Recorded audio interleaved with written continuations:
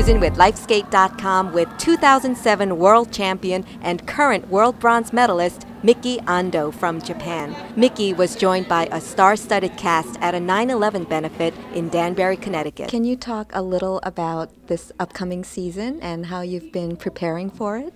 Um, so like this season it's gonna be Olympic year, so I'm I'm kind of like exciting, but I feel like not like special, you know, like because the season it's gonna be start from Grand Prix, and for us it's national. It's more important for me more than Grand Prix because it's final competition who gonna go into the Olympic this mm-hmm. year. So, well, of course I'm thinking and looking forward to the, going to the Olympic, but I, well, I want to enjoy this season also, and I just want to be skating great, and I want to improve, and I don't know, like I just want to enjoy this season. You're not saying this is your last season, are you? I'm not thinking like okay. just by year by like you know year by year. So well, I don't know. Let's see after if I can go into the Olympic, and let's see after the Olympic. Yeah. what are your short and long programs this year?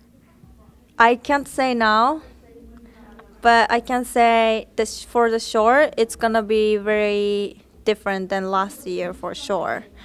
Uh, more strong, more. I think it's interesting, and I kind of like try new stuff, and I wanna show the like something exotic, something like this free program, um, the last year I didn't have any story in free program, just classic and then skating how I feel.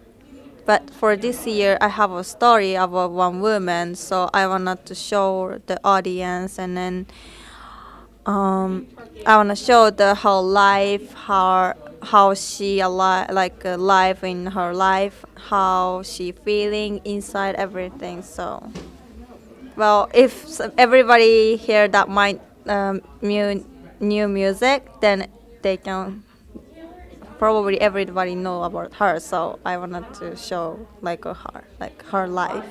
I can't wait to see it. What's your first? Uh, what is your Grand Prix? I have a Cup of Russia and NHK. Okay, well, we'll be watching. Thanks, Miki. Thank you so much. Thank you.